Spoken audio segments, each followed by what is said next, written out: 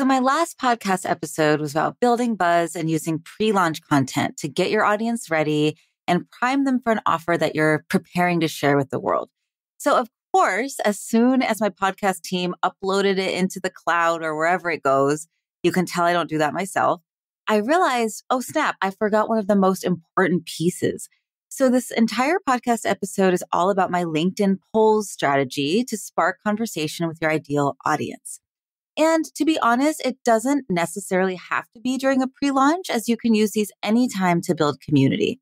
After all, I define thought leadership as the consistent practice of using our passion, lived experience, and credibility as fuel to spark trust and community as we imagine and shape the future together for the better. So keep listening in to steal this strategy for yourself and start building relationships with your people on LinkedIn.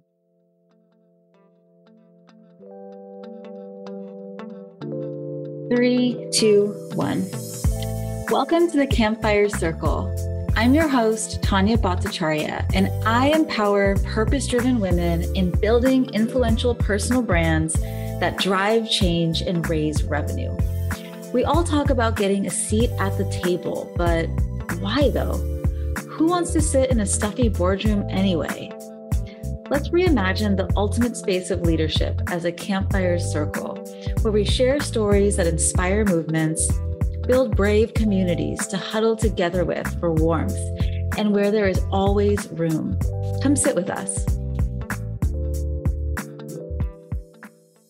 So, let me set the stage for why LinkedIn polls and why building community for that matter is even important. So my framework around building a thought leadership personal brand that moves the needle, that builds influence, that builds your personal change making capacity, so on and so forth is what I like to call my 3C framework, right? So the first C is clarity. You need to have clarity in your brand message, meaning you understand who the leader you're working towards embodying is. You can say why you solve the problem that you solve. And for that matter, you understand what is the transformation that you make possible, right? You know who you're speaking to and all of these foundational things so that you can differentiate yourself and really stand out as you stand up for your mission. So the second C is about content. And you need to have content, right, to disseminate your wisdom and your expertise so that people can actually experience it, so that this your thoughts and your perspective gets out of your brain and into the world. And if you have been listening for any period of time, my favorite place to share that content is LinkedIn, right? So you can get in front of the movers, the shakers, the potential clients, the referral sources, the amplifiers, and the list goes on, who are all on LinkedIn to build their network and create impact. But the third C is community, right? You want to turn your audience into a community that is ready to roll up their sleeves and help you make shift happen. And there's a nuance between audience and community. Like, what is the difference between those two things? And I'd love for you to answer that for yourself and see what is coming up for you. What is the difference? And for me, the difference, I think, is that you can really depend and rely on a community. They're closer to you. They're hyping you up in rooms that you're not even in. They are down to support you because of a deeper why that you share. You both share a unified vision. And there's something about the way that you show up in the world that has enrolled them into an experience of realizing that they're not alone with this overarching problem or issue. And they recognize you as a guide, right? A seasoned guide. And so out of the three C's, I feel like community is often the missing piece. Usually when people feel like they're doing all the right things on LinkedIn, they're showing up, they've done work on figuring out their brand message, but they're still not getting traction it's usually that piece of the framework isn't being done. So without community, it feels lonely on LinkedIn.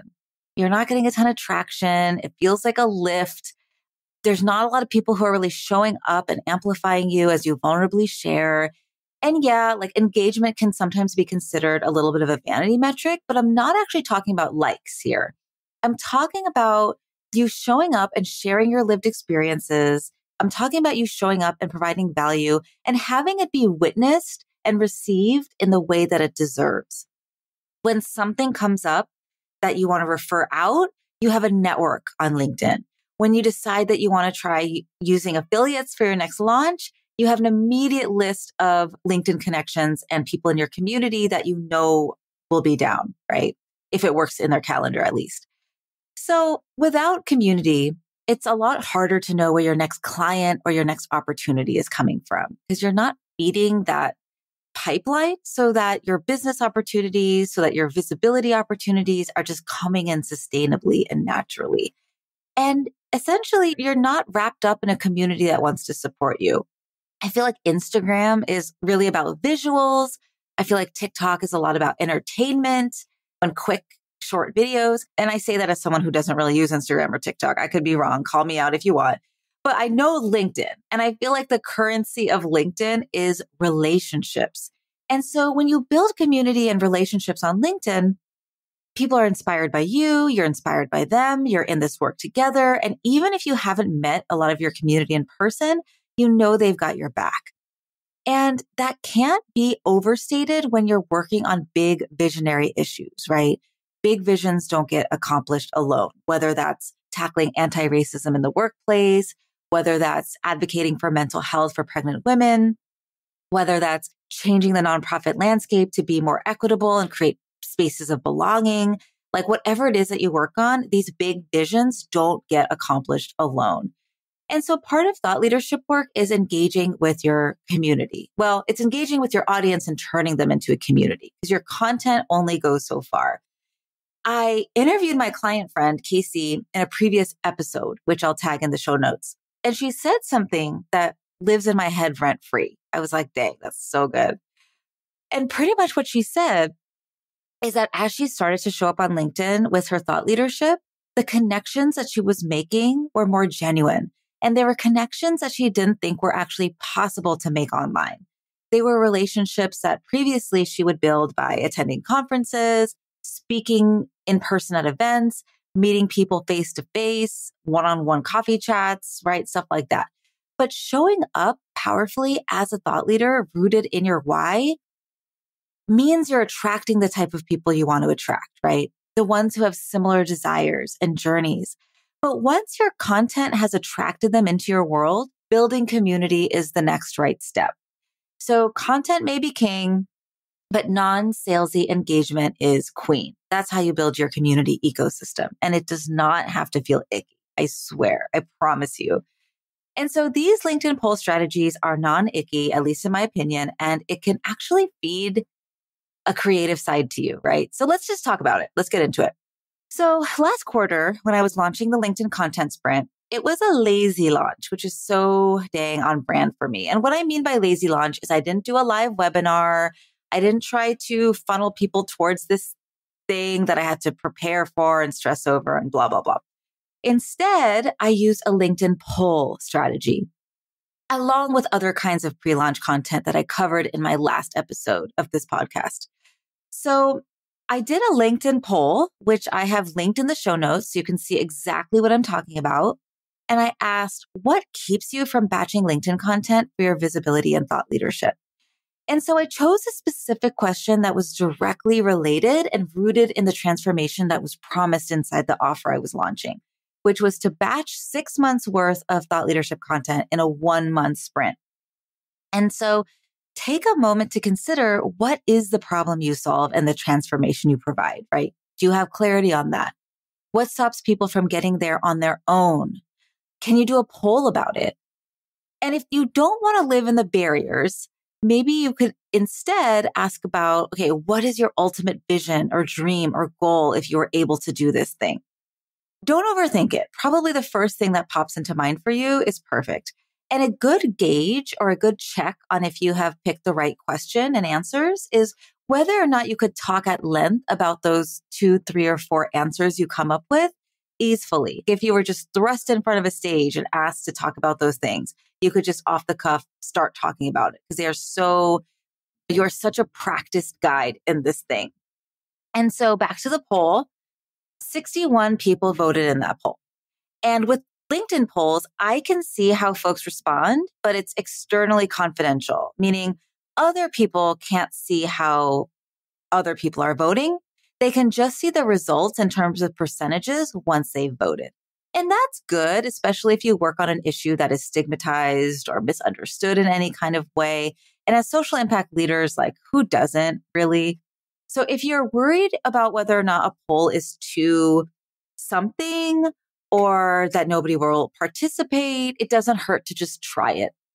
And actually, that brings me to a point, which is like a lot of people have said to me, well, I haven't tried a poll because I'm afraid nobody will respond.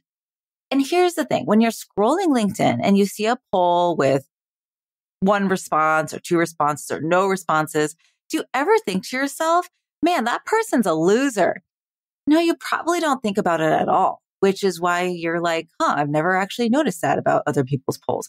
And it's the same thing here, right? So in undergrad psych, I learned about a thing called the spotlight effect humans tend to way overestimate how much other people think about us or even notice what we're doing. There was a study done at Cornell about this where the researchers asked a college student to wear a bright yellow Barry Manilow t-shirt and walk into a room of strangers. And so, of course, the students who, you know, the student wearing the shirt who was participating in the study assumed that everyone in the room would notice them and remember their embarrassing shirt when they asked about it later. And it turns out that only about 20% of the people in the room noticed them at all. And so it's the same thing here. Don't worry about looking dumb because it's hard enough to get people to look at you and remember you at all. Not you, you, but any aspiring thought leader, coach, consultant, service provider, social entrepreneur. And that's why showing up consistently is key here, right? Okay. So that was enough of a tangent. Let me get back to the strategy.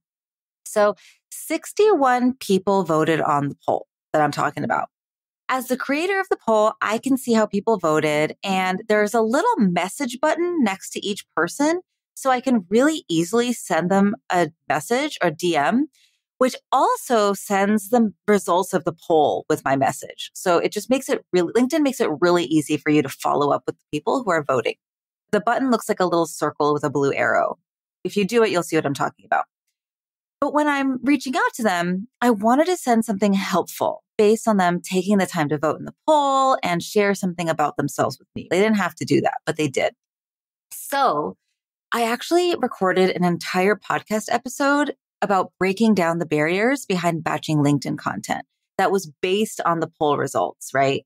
And that podcast episode came out as I launched the sprint and so I sent a private message to each of the people who voted in the poll using that little button so that they could see the poll I was even talking about.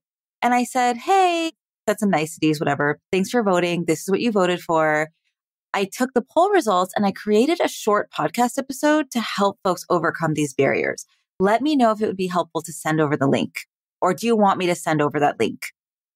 And so you'll notice I didn't just immediately send them the episode because to me, that feels a little bit icky or a little bit spam like.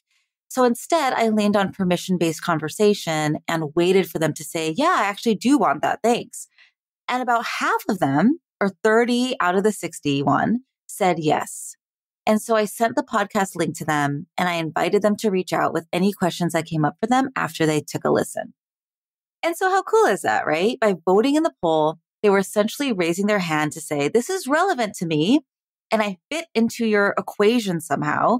And then for those 30 people who additionally said yes to the podcast link, they were essentially continuing to lean in for more information.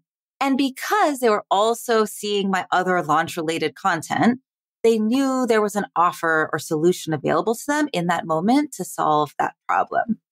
And you might be saying, well, Tania, I don't have a podcast, so this won't work for me.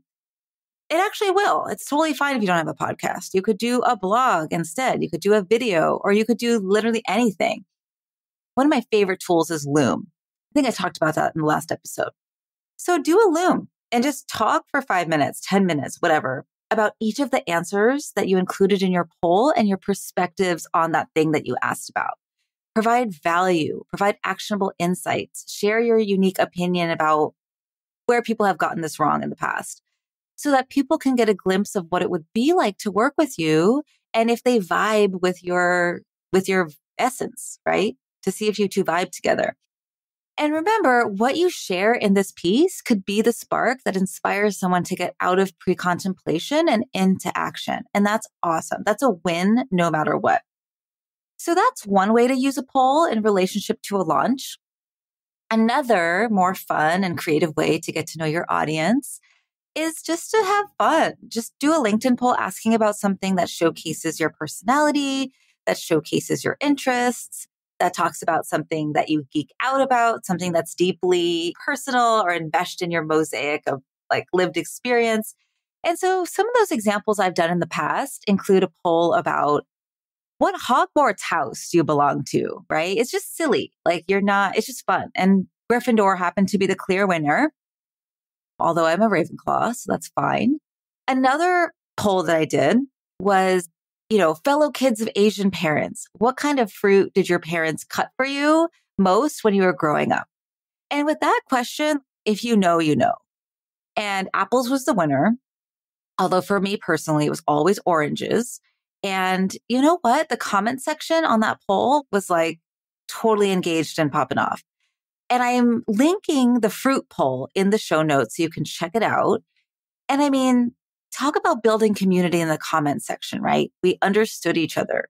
We had a shared language and a shared experience that we could relate to each other on based on our experience as children of Asian parents, generally immigrants. And so, you know, that forms a bond. That forms a bond and relationship with those people that then turns into whatever it's meant to be, right?